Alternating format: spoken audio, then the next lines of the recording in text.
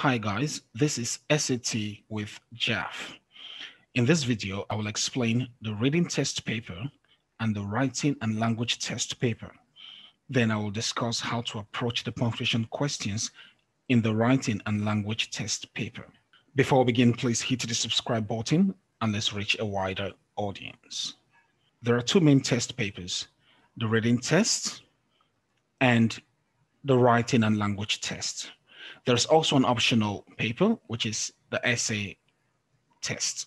The reading test contains 52 questions and the candidate is required to read five passages and attempt 52 questions in one hour, five minutes. For the writing and language test, the candidate is required to read four passages in 35 minutes to attempt 44 questions. For the essay, which is an optional paper, the candidate is required to read a passage and from the passage, extract information to write an essay based on the directions given. So let's go through the reading test paper. The candidates will be given five passages to read in this paper. The passages will be taken from um, from history, from science. Okay, this is the writing and language test paper. You read four passages and you attempt um, 44 questions. In this video, I'll focus on how to approach comprehension questions in writing and language test paper. Let me show you an example of the punctuation questions. Okay. Here, look at question 12. While fare free policies do increase ridership, but they have now the underlined words here should be a focus. So the number here is 12. So you go to question 12. Now, if there is nothing wrong with this punctuation, you just tick no change. But if you think there's something wrong here, maybe you need to remove a word and punctuate co correctly. Look for the best option here. That's the best punctuated option here. Okay. Look at question 14 also. But car use, but car use in Tallinn has only slightly declined as a now you come to question 14. If this if this expression is correct, just take no change. But if you think something is wrong here, you just go through the options and pick the correct option. Before we start attempting some of these questions, I would like to go over punctuation marks again. Okay, the full stop or the period is used to end a sentence. For example, my name is Alexander Hamilton. It can also be used for abbreviations like incorporation, limited. Full stop or period can also be used to, in, to show honorifics. Honorifics are titles that are abbreviated and placed before the name of a person. For example, title, Mrs., Doctor, Professor, Engineer, Honorable, Esquire. Full stop or period can also be used to indicate currencies. $2.50. Can also be used in email addresses. It's also used in website addresses, for example, www.sat.org. The question mark is used to ask direct or rhetorical questions. For example, what is your name? Who is like unto thee? This is a rhetorical question. The question mark also is used to show doubt. For example, James Smith, 1888 to 2020. Now, the question mark here indicates that you are not sure when James Smith was born, but you're sure he was born around that time. Okay, but the exact year is not certain. Exclamation marks are used to show emotions like surprise, fear, shock. I don't believe this. This is surprise. Goal, excitement. It can also be used to show commands like get out, stand up. Exclamation marks can also be used to indicate a loud sound, boom, bang. The comma is used to pause in a sentence. For example, I came, I saw, I conquered. The comma can also be used to separate items in a list. I need some rice, beans, plantain, and meat. If you remove the commas here, everything here will be assumed to be one. The comma can also be used to add extra information. Robert Langdon, the renowned professor, will be visiting our school today. The comma can also be used in tag questions. For example, let's grab a glass, shall we? Apostrophe, this punctuation mark is used to indicate that one or more letters or numbers have been omitted from a word. For example, I can't, this is a contraction. It simply means I cannot. Okay, removing the letters does not change the meaning of the words. Okay, in the 60s, it simply means in the 1960s, during the 1960s. The punctuation mark apostrophe can also be used to show possession, that something belongs to you. It's Michael's book. Here it shows that the book belongs to Michael. Colon. The punctuation mark colon is used to introduce a quote or a list in a sentence. For example, you need the following subjects to study law at the university. Now, the colon here shows that you're about to list the following subjects. So you have literature, history, etc. The quote, he said, life's good. Semicolon.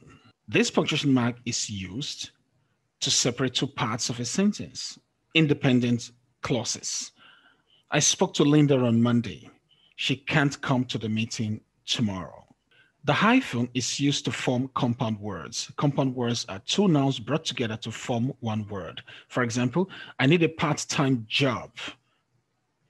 She's an African American. The dash is longer than the hyphen and it is used to separate parts of a sentence. For example, the car, the one with the broken window, was parked outside my house. Dash can also be used to show direction. For example, Lagos to Ibadan Expressway the dash here means to, to show direction to. Lagos to Ibadan Expressway. Quotation marks. Quotation marks show exactly what someone said. For example, God said, let there be light. Parenthesis is used to provide extra information. For example, he wept not for his job, but for his son. The words in parenthesis here give extra information about why he wept, not for his job, okay? Perhaps he lost his job, but not for his job, but for his son. Parentheses can also show words, phrases, and sentences that should be considered as separate from the main part. For example, student's first name are shown in parentheses like this, Baker Anita. What I'm trying to say here is that this is the first name, Anita, okay? And this is the surname, they're just trying to tell you that this is different from this. They are not one. Okay. Anita is the first name, while uh, Baker is the last name. Okay. Now let's go back to the SAT questions. But by initiating and collaborating on projects such as the Apollo moon missions, the Space Shuttle program, the Hubble Space Telescope, and unmanned. Now, what I want you to do here is to check if there's any grammatical error okay, or punctuation error. So you move to the corresponding question. If this expression is correct, you tick no change. But if you think you need to punctuate, okay, then you pick the correct option here. So let's go. The Hubble Space Telescope and okay, I think there is nothing wrong with this. So the op correct option here is no change. Okay? Let's look at question 16. If employees find themselves falling behind in the workplace, these critics contend.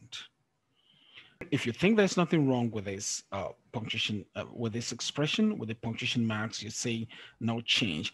But if you think, just like I'm thinking, that there's something wrong with this, okay, you can pick the correct option here. Okay, so I think the correct option here, if employees find themselves falling behind in the workplace, these critics contend, then it is the duty, the correct option here is D, because these critics contend, then it is the duty of the uh, so the correct option here, because there is a pause in the sentence. If employees find themselves falling behind in the workplace, first pause, this critics contained, then it is the duty of those employees to identify and even pay. Okay, I think the comma here will make the expression more, uh, will make the expression clearer. Okay, Um, let's look at question 22. What you are looking for here, I think, is the punctuation mark, appropriate punctuation mark to use. Employees can also identify which employees have successfully completed instructional modules and which needs to be offered additional training. Now, if you think there's nothing wrong with this, okay, you say no change. But I think you need to, uh, th th this needs to be a change here. Now, employees can also identify. Now, what follows is like a list of items, okay? What the employees identify. There is one punctuation mark that introduces a list in a sentence, and I think it's the colon. So the colon here will work perfectly, will make the uh, expression more clear. Let's take a look at question 24. To counter the rise of fast food and fast life, a cohort of chefs, journalists, and okay, so let's look at this. Uh, so to counter the rise of fast food, they are looking at the punctuation marks here. If you think there's nothing wrong, just say no change, okay? But let's take a look at this again. These are least cohorts of chefs, journalists, and sociologists. So what should be used here should be still the colon. What should be used should be the colon to introduce these lists. Okay, this is another one. Okay, so you search for grammatical errors and punctuation uh, errors. The nature trail slices through the forest like a snake curving and bending. Now, here, what you're looking for is the appropriate punctuation marks. If you think there's nothing wrong, you take no change. But if you think there is something wrong, you know, you come down and say, okay, the nature trail slithers through the forest like a snake curving and okay, I think snake curving and bending along like a snake curving and bending. Okay. I think like a snake curving and bending along. So this is the correct answer. Okay. Finally, let's look at question 29. During their early years, the movement also focused on the, so your focus here is on there, okay? If you think there's nothing wrong here, you say no change, okay? But if you think there's something wrong here, you pick, okay, during its early years, the movement also, now if you're going to replace it with its, you are going to pick C because it's not a contraction, okay? It's not a contraction. This is a contraction. So to show that something is pertaining to you, to someone, you use the one without the punctuation mark. Okay. So if you're going to use its, its early years, it's C, not D. Okay, D is just a contraction for it is. You cannot say during it is early years, but you can say during its early years. So this is how you attempt the questions. You go to the passage, you go to the question, then you go to the passage and look for the corresponding question and follow the instructions. Now, I to advise you to keep practicing um, the, the SAT papers till you master how to punctuate correctly. Thank you very much.